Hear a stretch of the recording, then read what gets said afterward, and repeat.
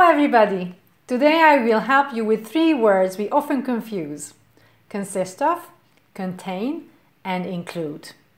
Let me help you through a very simple example. A nice margherita pizza.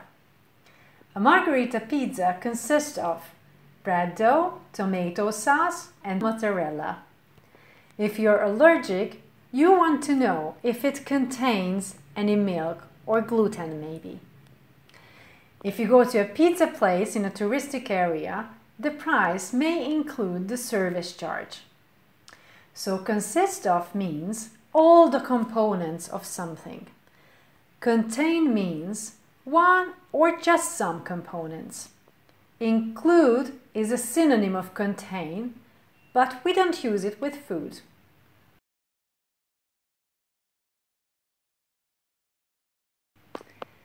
To make sure you really understood the difference, go to our Facebook page because we uploaded a very funny practice for you.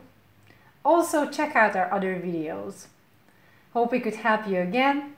Go Figital! Goodbye!